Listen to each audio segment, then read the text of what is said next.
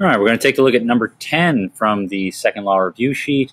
In this problem, a 15 gram bullet, so we got to change that to kilograms, 0.015 kilograms, is going to be shot from a rifle. It takes 2.5 times 10 to the negative third seconds for the bullet to leave the barrel of the gun, and it exits the barrel with a speed of 715 meters per second.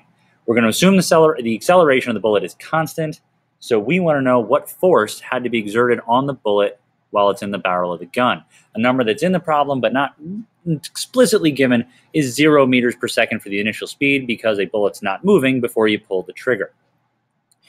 Anytime you get some kinematic stuff, in this problem we have V naught, VF, and T, and we're trying to find some forces stuff, chances are, and this is the case in this problem, that we're going to be finding acceleration using kinematics variables first. That way we can use acceleration in our F equals ma at the end of the problem since we're trying to solve for force. Since we have V naught, VF, and T, and we're trying to solve for A, we're going to pick the equation without D in it, which is if this one, VF equals V naught plus AT. A little bit of algebra to solve for A. We just subtract V naught to the other side, which is why we have VF minus V naught. Divide by the time to get A all by itself, and now we can plug in our numbers. 715 meters per second minus 0 meters per second. And we're going to divide that by the time, which is 2.5 times 10 to the negative third seconds. Plug that into our calculator, and we get a very large acceleration of 286,000 meters per second squared. But it kind of makes sense that it's large since we're talking about a bullet in a gun. Now that we have A, we can go and take a look at Newton's second law. So we're just trying to find the force acting on this bullet right here, and that's going to equal ma, since it's the only force acting on the bullet that's going to make it accelerate. So F equals ma, we have mass, it was given in the problem at 0.015 kilograms. We just solved for the acceleration, 286,000 meters per second squared. Plug it into our calculator, and we get the force of 4,290 newtons. Number 11. In this problem, a 95 kilogram person is standing on a scale that just happens to be in an elevator.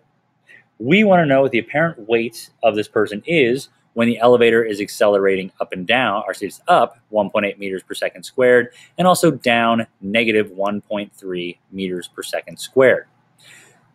So first thing first, we have to make sure we have our arrows correct. The normal force is pushing up on him. The, the force of gravity is pulling down.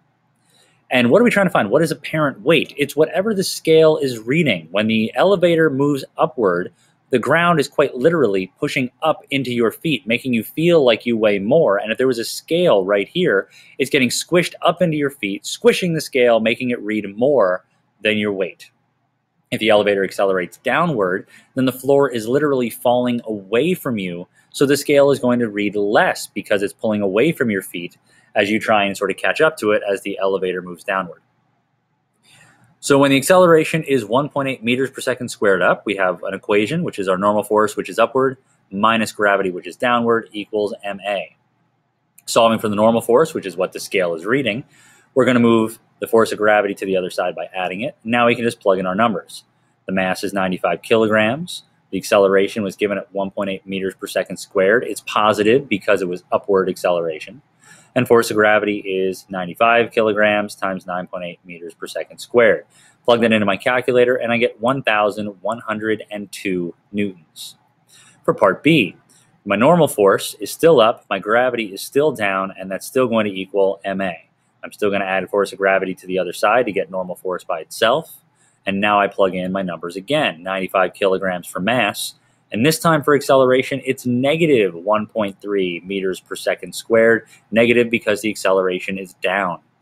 The mass is still 95 kilograms, g is still 9.8 meters per second squared, and I plug all this into my calculator to find out that I weigh less when the, when the elevator is accelerating downward, which makes sense, and it's 807.5 newtons. Number 12, we're going to be lifting a grocery bag up off of the ground. The maximum force that the grocery bag can withstand is 250 newtons.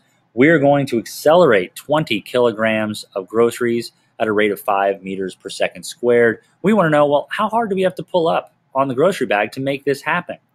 A lot of people want to just plug 250 newtons in for a force of pull, but that you can't do that. And the reason for that is because we're actually saying, hey, how hard do we have to pull? To make it move 5 meters per second squared. If we pull with 250 newtons, it's not going to make it go 5 meters per second squared. It's either going to be more or it's going to be less. The point of the 250 newtons is to say, if I pull more than that, the bag is going to break and I'm going to have groceries all over the place. If I pull less than that, then it's okay and the bag is going to be fine.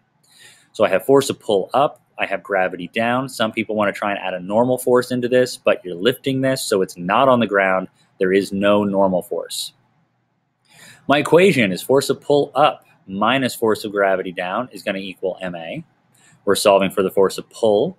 So we're going to add force of gravity to the other side, giving me ma plus force of gravity. Plugging in my numbers, I get 20 kilograms times the acceleration, which is 5 meters per second squared, plus the force of gravity, which is 20 kilograms times 9.8 meters per second squared. And that's going to leave me with a force of pull that is 296 newtons. So to accelerate the bag, 5 meters per second squared, I have to pull 296 newtons. So if I do that, I'm pulling more than 250 newtons, and that means my bag is going to break.